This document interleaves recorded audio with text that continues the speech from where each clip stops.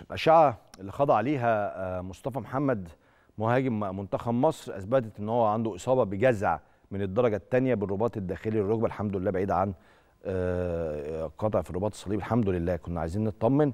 ما تحددش فترة غيابه بس إن شاء الله مش هتكون فترة غياب كبيرة. وإن كنت أتصور وأتوقع مش مش رأي طبي يعني إنه على الأقل هيبقى شهر ممكن أكتر شوية. وأتوقع جدا إنه مصطفى محمد كان في اهتمامات ميكالي المدير الفني للمنتخب الأولمبي إنه يبقى موجود من الثلاثه الكبار في الأولمبيات اللي جاية.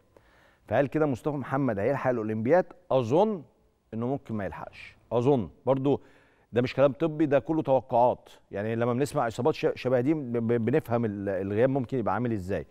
بس لسه الجهاز الطبي هيعلن فترة الغياب بالظبط وإن شاء الله تبقى فترة قليلة وإن شاء الله لو ميكالي فعلا محتاج مصطفى محمد مع المنتخب الأولمبي في الأولمبياد يبقى جاهز ليها إن شاء الله.